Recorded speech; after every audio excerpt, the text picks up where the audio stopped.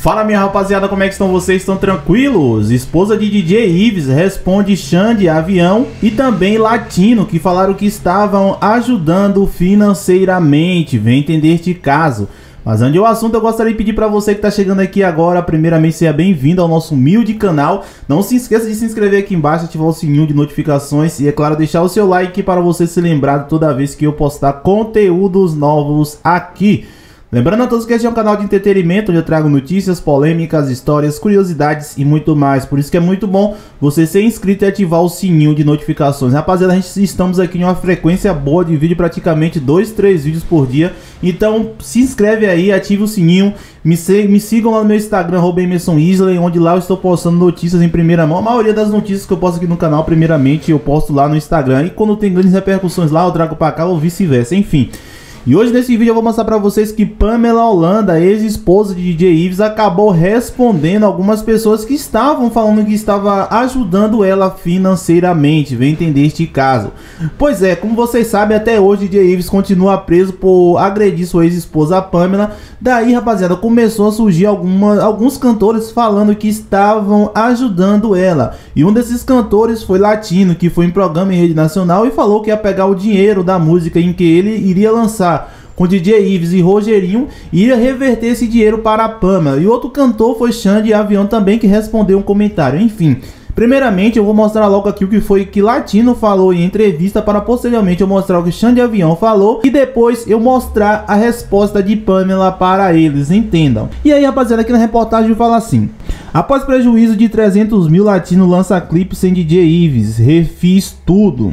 Latino lançou nessa última sexta-feira 6 sua nova aposta, o hit música es Esquece, em parceria com Rogerinho, em sua versão original também com DJ Ives. O funkeiro não imaginava que teria uma tarefa dobrada para apresentar o trabalho ao público. Ele tinha gravado o áudio e o clipe da música antes de o DJ Ives ser preso por agredir a mulher. O cantor não quis que o lançamento fosse associado ao artista e precisava recomeçar do zero, entre aspas. Refizemos tudo, tive que pagar todo, todas as artes, vídeos e promoções. Imagina o trabalho e prejuízo, já está tudo superado. Isso que é isso que importa, falou o cantor em conversa com Splash. O prejuízo, segundo Latina, está por volta de 300 mil, mas sem dúvida nessa história toda a verdadeira é, prejudicada foi a ex-mulher dele, Pamela. E aqui Latino falou, entre aspas, meu empresário entrou em contato com ela e o seu advogado e todos os direitos que seriam pagos. A Ives será depositado diretamente para ela. A música é minha e decidi desta forma. Foi isso aí que Latino falou, que o dinheiro queria ser para DJ Ives, ele ia dar para ela. Olha que a música nem era composição de DJ Ives. Daí dá para você perceber alguma coisa de errado, porque hoje em dia no mundo que, que nós estamos vivendo, dá para perceber que ninguém faz nada à toa por ninguém, né, gente? Infelizmente. Não estou falando que esse é o caso de Latino, mas é muito assim de você ficar imaginando. O cara teve prejuízo de 300 mil reais nessa música e logo depois aí é, tirar DJ Ives e pegou, pegar o, o dinheiro que ele ia ganhar nessa música, tendo esse prejuízo que ele falou de 300 mil reais, ainda pegar todo esse dinheiro e dar esse esposa dele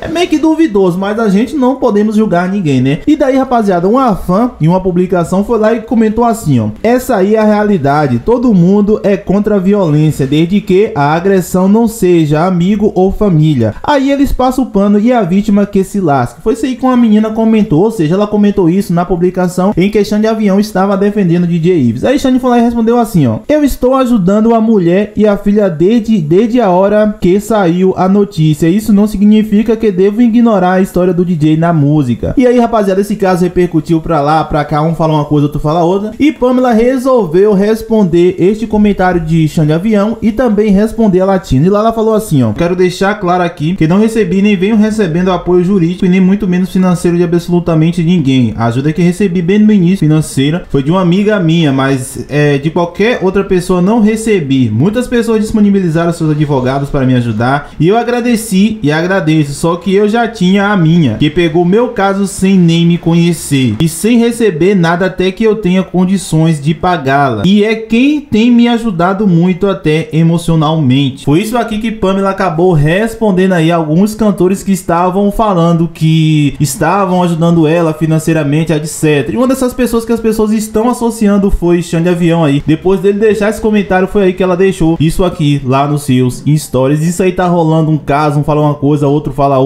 coisa. E assim, rapaziada, perceba-se que Xande Avião, nos últimos comentários dele, ele vem, é, digamos que defendendo DJ Ives pelo lado artístico. Claro que ele não vai defender o DJ pelas aquelas agressões que ele, que ele, que ele fez. Mas se, se tem algumas pessoas, acredito eu, que são amigos de Xande Avião e conversam com ele no dia a dia, acredito que Xande, é, ele tem outro modo de pensar. Eu acho assim que Xande pensa, pô, velho, acho que o DJ Ives deveria estar solto pra estar tá trabalhando aqui pra gente. Gente, e outra, uma opinião minha aqui pra vocês. Eu acredito que depois que DJ Ives sair da cadeia, ele vai voltar a produzir Xande Avião, porque é inegável o talento do DJ. Vocês acham que Pamela deveria é, receber alguma ajuda financeira desses cantores que estavam falando lá atrás alguma coisa ou outra coisa assim?